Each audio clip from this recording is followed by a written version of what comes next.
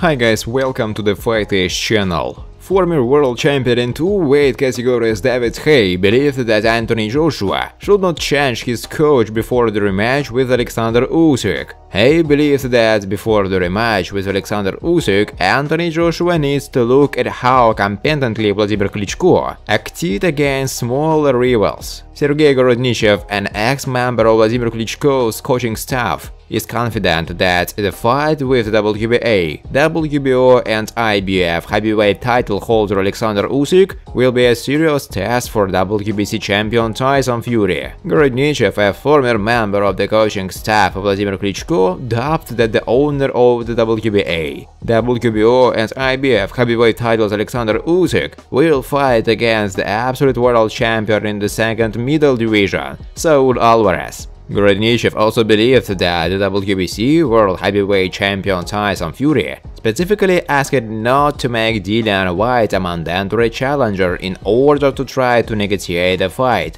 with WBA, WBO and IBF title holder Alexander Usyk. Alexander Krasyuk, CEO of K2 Promotions Ukraine, said that their promotion company will continue to cooperate with the current world heavyweight champion Alexander Usyk. The fight with Anthony Joshua was the last for the Ukrainian under the contract with K2. At some time, Usyk had previously expressed claims to the company of the Klitschko brothers, not wanting to extend the agreement.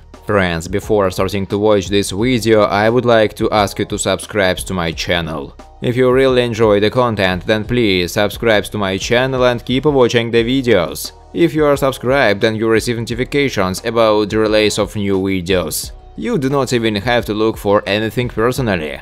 I really want to get 10,000 subscribers on my channel. I'm trying very hard absolutely every day and I need your support. Your likes, comments, reposts to social networks. Thanks to everyone who subscribes to my channel. You are my support. Thank you so much. Former world champion in two weight categories David Haye believed that Anthony Joshua should not change his coach before the rematch with Alexander Usyk. I don't think Joshua needs a new coach. I doubt that the reason for his defeat to Usyk was coaches or physical training specialists. I think it's all about intentions. It looked like Joshua wasn't going to knock out Usyk. He was trying to win at the expense of boxing. It worked in his previous fights. Joshua boxed with Pulev and broke him thanks to a jab and then knock him out. Before that, there was a rematch with Andy Ruiz. Maybe Joshua went into boxing mode thinking he could just box. Joshua's amateur career was short, but it was at very high level. A few years ago, joining boxing, he fought in the final of the World Boxing Championship. Joshua was very successful and established himself as a boxer who fights at a long distance. Perhaps he believed that he should box at the distance.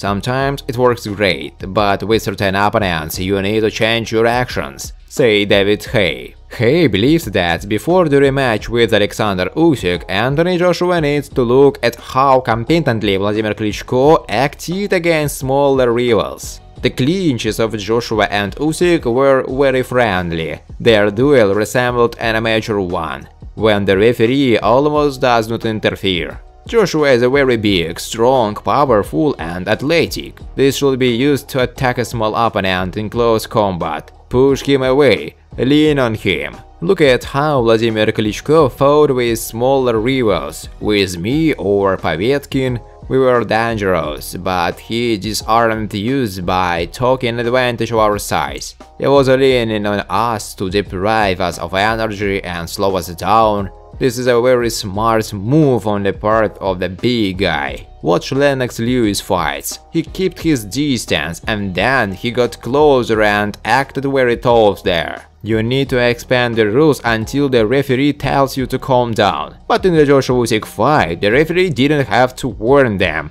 because they boxed like a gentleman. With Alexander you need to act completely differently, you have to arrange a dynamic fight, taut and uncompromising. But to do this, you need to take damage at close range. It's difficult to fight close without missing anything in response, said David Haye. Sergei Gorodnichev, an ex-member of Wladimir Klitschko's coaching staff, is confident that the fight with WBA, WBO and IBF heavyweight title holder Alexander Usyk will be a serious test for WBC champion Tyson Fury. Naturally, Fury's desire to box with Usyk can be understood. Take all the belts and tell everyone to fuck off, because he thinks Joshua is easy prey compared to Alexander. After Anthony Boxer off with Usyk, it's become clear that Fury will move Joshua, and that will be the end of it. Fury will have problems with Usyk, that's understandable. While they are at their peak, while they are still young, while Usyk is in good shape, Fury wants to box with him. Plus, it's a lot of money. Everyone knows Usyk, everyone wants to box with him,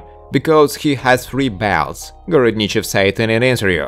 Sergei Gorodnichev, a former member of the coaching staff of Wladimir Klitschko, doubts that the owner of the WBA, WBO and IBF heavyweight titles Alexander Usyk will fight against the absolute world champion in the second middle division, Saul Alvarez. Rumors began to circulate that Canelo could box with Usyk, but this is sky high case, because Alvarez is boxing in a different weight category. Okay, he will be allowed to cruise if he weighs 18 to 83 kilograms, but for him to box in the heavyweight division, he needs to weigh at least 91 kilograms. It should be with a huge neck. Shoulders, of course, gain weight. Is it advisable to conduct this fight? For PR, yes, but I don't know. Canelo will get our overgrown with muscles. It will be heavy. You can say it will grow fat, low speed. Yes, there will be power, but will he have enough of a blow well with the Usyk?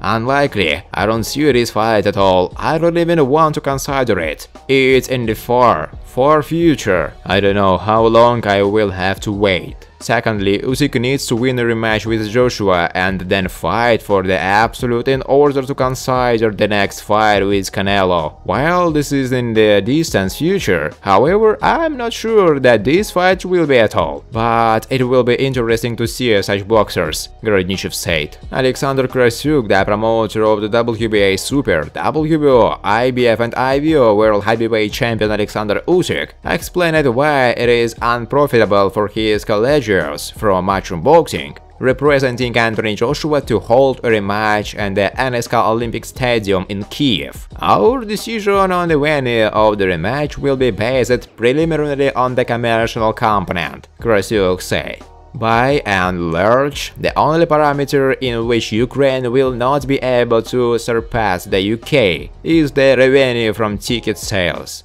despite the fact that we will be able to accommodate about 70,000 people at the Olympic Stadium. We will be able to accommodate a little more spectators at Wembley in 19,000. Thus, the United average price of one ticket will differ by about 1 zero and in this regard, the revenue from tickets in the UK will certainly look more appropriate. Promoter of Alexander Usyk, Alexander Krasyuk, shared his thoughts about a possible duel of his clients with the owner of the WBC heavyweight belts Tyson Fury. After the first fight of Tyson and Deontay, you say that for Usyk, a fight against Fury or Wilder will be a sweet bond. Wilder forgot about boxing and principle. He even lost his boxing coordination. I'm not talking about footwork.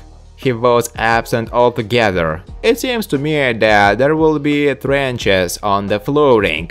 Neither of them worked on their feet, said Krasyuk. Thanks for watching guys, if you like this video please subscribe to my channel.